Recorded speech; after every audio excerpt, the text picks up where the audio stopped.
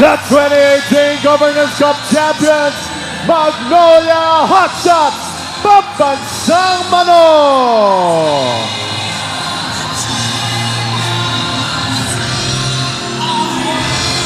Gayang pagbabalik sa ating channel mga tol, ang pag-uusapan natin yung araw ay kung paano maiiwasan matalo ng Magnolia Hotshots sa kanilang mga laban kontra sa ibang kupunan sa PBA.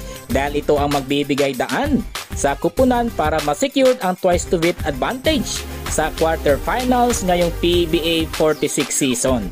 Pero bago natin yan alamin mga tol, i-click mo na agad ang subscribe button at notification bell para lagi kang updated tungkol sa mundo ng basketball.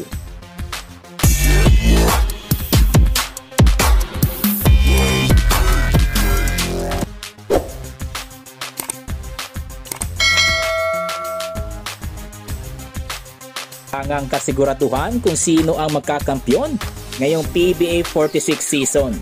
Dahil nag-aagawan nga sa pwesto ng PBA team standings ang mga kupunan at syempre dahil na rin sa paglagapak ng kampyon na Barangay Hinebra San Miguel sa ikasyam na pwesto ng team standings kung saan inasahan nga na sila pa rin ang mangunguna ngayong season dahil sa blockbuster trade na ginawa ng management at syempre dahil na rin sa lalim ng kanilang roster. Dagdag pa natin dyan mga tol, inaasahan din na Barangay Hinebra pa din ang magkakampyon ngayong season. Dahil wala naman talagang nabago sa kanilang roster.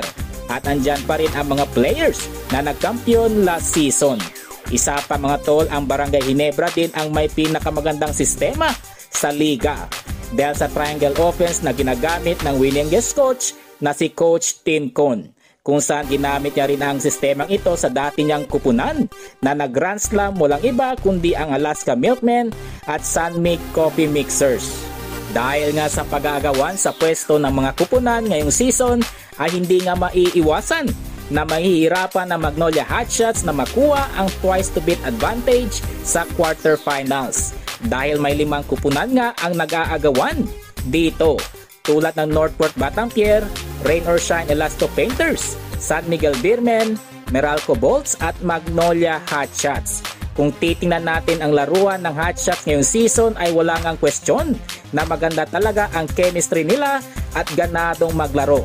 Kaya ito ang rason na sa ikatlong pwesto sila ng team standings na may kartadang anim na panalo at tatlong talo kung saan nasa ikalawang pwesto ang Meralco Bolts at unang pwesto naman para sa TNT Tropang Giga.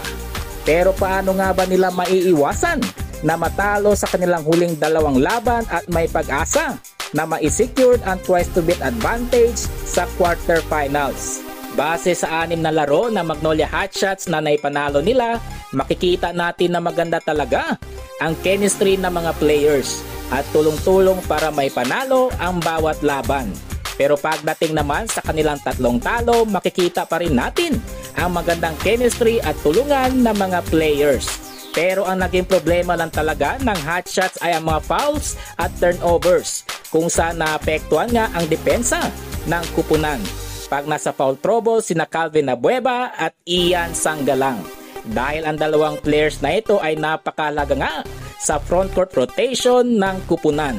At pagdating naman sa turnovers, dito nahila pababa ang hotshots dahil binibigyan nila ng pagkakataon ang kanilang kalaban na makapuntos at malamangan sila lalong-lalo na sa crucial time ng laro. Kaya ito ang nagiging dahilan ng kanilang pagkatalo.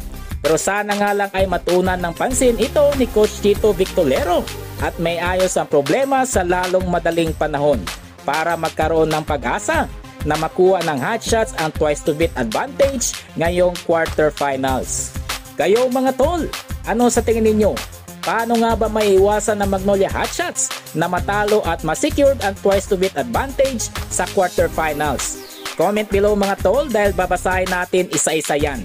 At huwag din kalimutan i-like at share agad itong video para patuloy pa ako mag-upload na marami pang videos tungkol sa mundo ng basketball.